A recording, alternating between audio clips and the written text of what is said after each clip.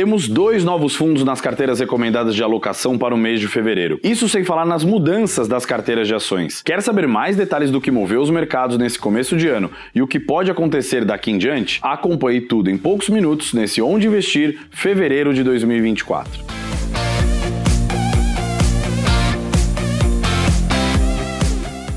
Primeiro mês de 2024 foi marcado por notícias em direções opostas entre os principais mercados desenvolvidos e economias emergentes, em contraste com o otimismo generalizado que prevaleceu no último mês de 2023. As duas principais economias do mundo divulgaram o resultado do PIB do ano de 23. Na China, o crescimento de 5,2 consolidou um quarto trimestre mais fraco do que o anterior, confirmando a avaliação do mercado de que Ainda que siga em forte expansão, a economia chinesa vem perdendo força. Já nos Estados Unidos, o PIB surpreendeu crescendo 2,5% no ano, impulsionado principalmente pelo consumo das famílias. Apesar do forte crescimento, a inflação no país segue desacelerando, com preços encerrando o ano pouco mais de meio ponto percentual acima da meta do Banco Central americano, o Fed, em 2,6%. Não obstante, o Fed destacou uma postura cautelosa ao manter os juros no patamar entre 5,25 e 5,5 em sua primeira reunião do ano, em linha com nossa expectativa de que os juros só devem começar a cair na maior economia do mundo no segundo trimestre desse ano. Ainda no âmbito internacional, a piora do conflito na região do Mar Vermelho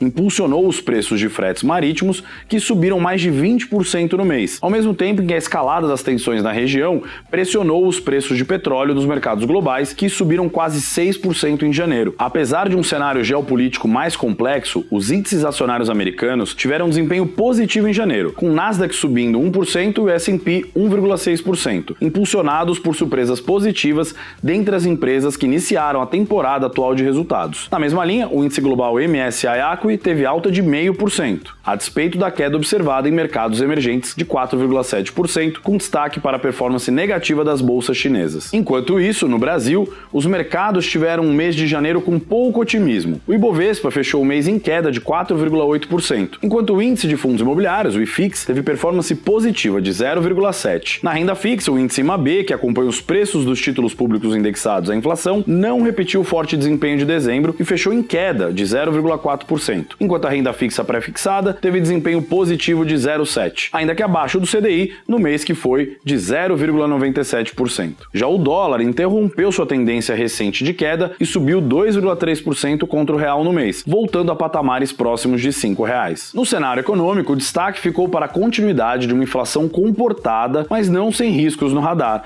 após fechar 2023 acima da meta do Banco Central, mas dentro do seu limite superior, com alta de 4,6% no ano, a inflação medida pelo IPCA 15 surpreendeu positivamente em janeiro, registrando alta de 0,31%. Nesse cenário, o apagar das luzes de janeiro contou com redução de meio ponto percentual na nossa taxa básica de juros. Em sua primeira reunião do ano, o Copom manteve o ritmo de cortes da taxa Selic, reduzindo para 11,25% ao ano. A decisão veio em linha com a nossa expectativa, reforçando nosso cenário de quedas na Selic ao longo de 2024, atingindo 9% em setembro, diante do cenário ainda cauteloso no campo doméstico, com riscos fiscais como destaque e no internacional. Assim, o mês de janeiro destaca mais uma vez a importância da diversificação das carteiras entre diferentes classes de ativos, capaz de minimizar a exposição a riscos e otimizar retornos de longo prazo. Mas antes de eu falar mais sobre cenário econômico, alterações nas carteiras recomendadas, que tal você deixar o seu like se gostou do conteúdo, comentar, deixar suas dúvidas e até compartilhar com quem possa se interessar por esse Onde Investir fevereiro de 2024.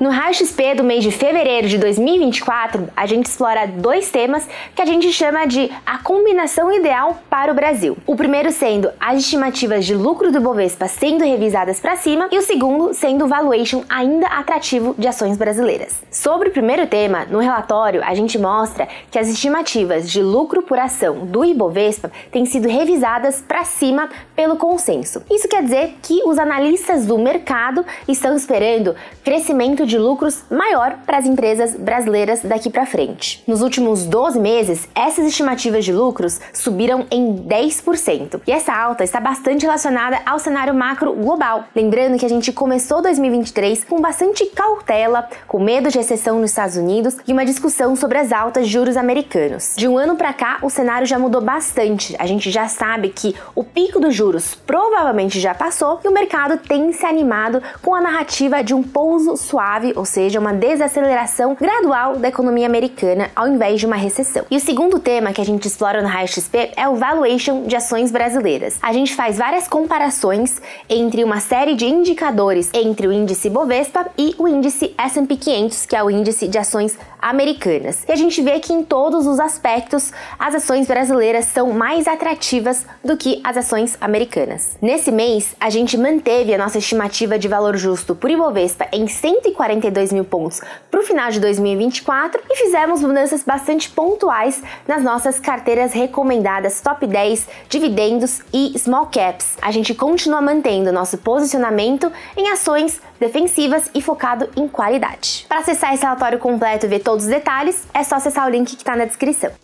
Nas carteiras recomendadas de alocação, seguimos implementando algumas medidas já há alguns meses, na maioria delas mudando o mix de indexadores na renda fixa, tendo nesse momento uma propensão maior a reduzir as exposições em pós-fixado, aumentar em inflação e manter pré-fixado. Nesse mês, apenas a carteira cautelosa sofreu um ajuste nesse sentido, tendo seu percentual inflação levemente aumentado. O nível de diversificação segue também elevado em diversos instrumentos e classes de ativos. Nessa linha, devemos ir aumentando a exposição aos multimercados, acreditando que podem enfrentar um momento mais positivo e propício para a geração de bons retornos. Para fevereiro, os aumentos em multimercados estão acontecendo nas carteiras cautelosa, estrategista e energética. Inclusive, incluímos o fundo Absolute Vertex Advisor na classe multimercados para compor a carteira com os demais fundos já presentes, como por exemplo o Kinea Atlas, que é a nossa maior convicção nessa classe de ativo. Na parcela de fundo de ações, o real Real Investor FIC FIA passa a integrar a parcela de renda variável Brasil das nossas carteiras, entrando ainda com pequena exposição que pode ir aumentando ao longo do tempo. Boa parte das alterações vem sendo em uma linha gradativa e cautelosa, de ir tendo maior exposição a ativos e classes de mais risco em um cenário de queda consistente da taxa Selic.